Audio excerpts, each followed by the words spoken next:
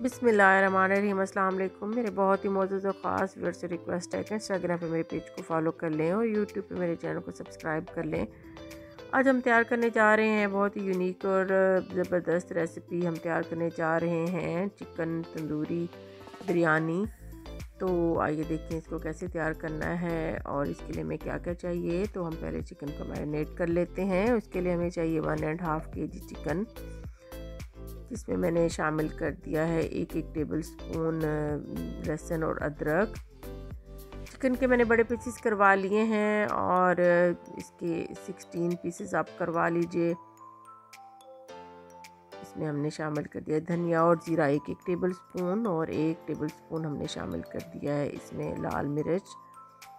हल्दी मैंने शामिल कर दी है इसमें आधा टी स्पून और तंदूरी मसाला हमने इसमें शामिल कर दिया। एक टेबल स्पून एक टेबल स्पून हमने इसमें शामिल कर दिया है नमक।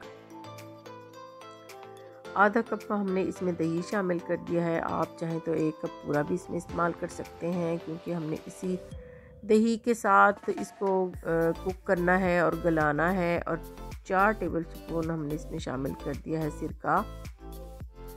आप चाहें तो इसको मैरिनेट करके रख लीजिए दो घंटे, और अगर आप चाहें तो इसको फर्दर पर तैयार कर लीजिए तो हम इसको अभी तैयार कर रहे हैं। हमने कढ़ाई में डाल लिया है ऑयल पाँच छः चम्मच आप चाहें तो यही ऑयल आप चिकन में भी शामिल कर सकते हैं, और इससे चिकन सॉफ्ट और टेंडर रहेगा। तो हमने चिकन इसमें शामिल कर देना है, कढ़ाई में डाल देना है, और फिर हमने इसको ढक देना है। बस अपने ही पानी में चिकन कुक हो जाएगा। हमें इसमें बिल्कुल भी कुछ भी पानी शामिल नहीं करना, ना हमने इसमें कुछ और चीज़ शामिल करनी है। बस ये दही में और अपने ही पानी में चिकन पक जाएगा।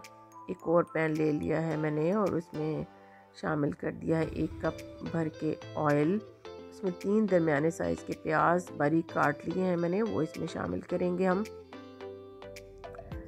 और वन एंड हाफ़ के जी चिकन है और वन एंड हाफ़ के जी ही चावल हैं जिनको हमने भिगो दिया है।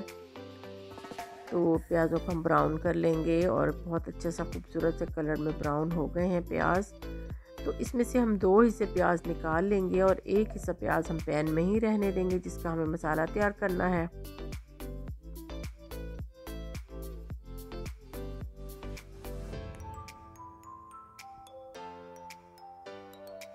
बस हमें इसमें शामिल करना है अब लहसुन और अदरक। जब लहसुन और अदरक थोड़ा सा पक जाएगा तो इसमें बाकी मसाला जात हम शामिल करेंगे।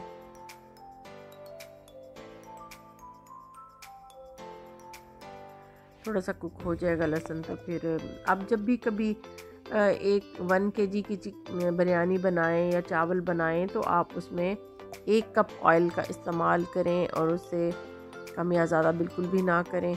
हाफ़ डन हो गया है, हमारा चिकन अब इन ताला बहुत जल्द कुक हो जाएगा। तो इसमें मैंने शामिल कर दिया है आधा चाय का चम्मच हल्दी, एक टेबल स्पून लाल मिर्च। याद रहे कि हम जो है वो स्पाइसी बिरयानी बनाने जा रहे हैं। अगर आपको स्पाइसी नहीं पसंद तो आप इसमें से लाल मिर्च की मकदार को कम कर सकते हैं। मैंने इसमें शामिल किया है एक टेबल स्पून भर के नमक और धनिया और ज़ीरा एक एक टीस्पून भरा हुआ और एक टेबल स्पून हमने शामिल किया है इसमें। तंदूरी मसाला, तीन अदर दरमियाने साइज़ के टमाटर ले लिए थे और उसमें पाँच छः हरी मिर्चें डालकर मैंने इनका पेस्ट तैयार कर लिया है, जिसको हमने पका के ड्राई कर लिया है और चावलों को हमने खुले पानी में नमक डालकर बॉयल कर लिया है और मसाले के अंदर हमने एक चिकन क्यूब शामिल कर लिया है। तो सबसे नीचे आप चावलों की तह लगा लीजिए, कुछ मसाला आप नीचे रहने दीजिए, कुछ मसाला आप निकाल लीजिए, जिसको हम ऊपर तो में इस्तेमाल करेंगे। तो हमें तहदर बिरयानी बनानी है तो इसी तरह आप मसाला डालिए इसमें और इसमें आप शामिल कीजिए चिकन, जो हमारा तैयार हो चुका है। और इसी तरह आप तह बतह लगाते जाइए। मेरी आपसे रिक्वेस्ट है कि प्लीज़ मेरे चैनल को सब्सक्राइब कर लीजिए, बेल आइकन को ऑल पे प्रेस कर लीजिए। वीडियो को शेयर लाइक ज़रूर करें और कमेंट सेक्शन में मुझे बताएँ कि आपकी रेसिपी कैसी लगी। बहुत ही आसान और सादा रेसिपी है, बस चंद बातों का आपको ध्यान रखना है तो आपकी बहुत अच्छी रेसिपी तैयार हो जाएगी। सेम वैसी ही हमें लगानी है जैसे हमने पहली तह लगाई है। वन के जी चावलों में आपने बस एक कप कुकिंग ऑयल इस्तेमाल करना है। चावलों को हमने 90 परसेंट कुक कर लेना है, खुले पानी में पका लेना है।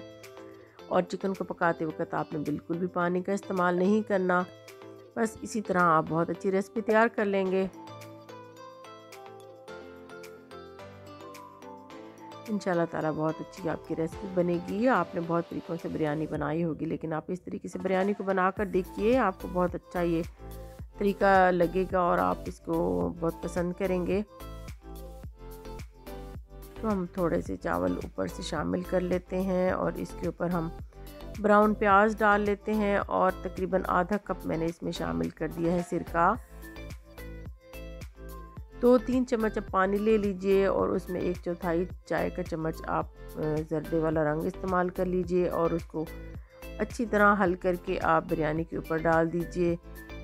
बहुत अच्छा सा कलर आ जाएगा इसमें। पंद्रह बीस मिनट के लिए हम इसको दम पर रखेंगे और फिर बिल्कुल बिरयानी तैयार हो जाएगी। ये देखिए पंद्रह बीस मिनट हो चुके हैं। बहुत अच्छे से खूबसूरत हमारे राइस तैयार हो चुके हैं। आप देखिए कितना खूबसूरत कलर है और एक एक चावल खिला खिला है बिल्कुल।